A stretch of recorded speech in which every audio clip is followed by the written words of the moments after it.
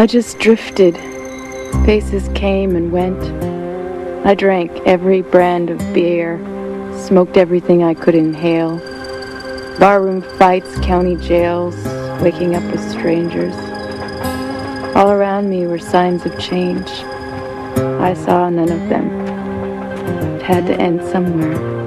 In a jail cell in Rapid City, South Dakota. We're all sitting here in this white man's cage. We're going to take control of our own lives. Shut up down there! It's up to the Lakota youth, under the guidance of our elders, to make the changes that's going to release our people from their cages. Hey, what are you doing? Oh, just looking, man. Now, Who the hell does he think he is? Jesus! Where'd you come from? I'm not Jesus. You're drunk, kid. If you're not my savior, then who the hell are you? Spencer, like the rifle. Was a good rifle. What you in here for? I believe the charge is sedition. Right here on the bag. We'll get this all back when you get released. Cause to riot. What tribe? Apache. You're full of questions, kid. Why is that? Sometimes they put informers in with us, you know that? Name's Mary. Why'd they do that anyway? With the American Indian movement, AIM, we got some people kind of irritated. Never heard of them. You ought to slow down long enough to read a newspaper, see a TV, Mary. Instead of messing around bars, getting drunk, getting high, getting beat up. Was it Indians? White guys, huh? Who cares?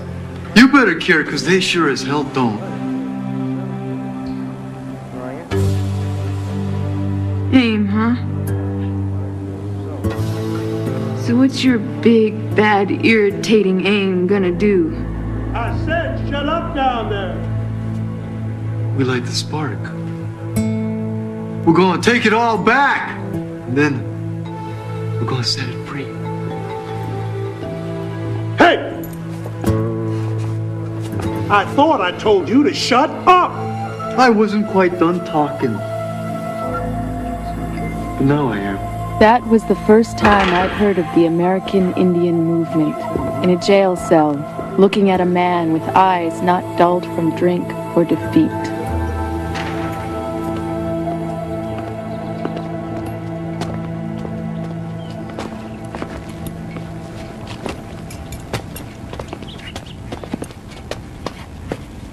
Hey, you want to get a beer?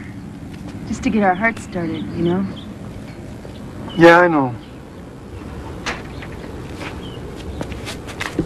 There's a, a new wind on its way. And those that don't blow clean is gonna blow away.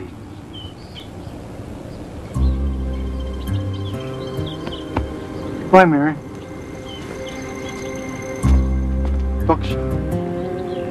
Doksha. I knew then it was time to sober up or die. There was no place else to go but home.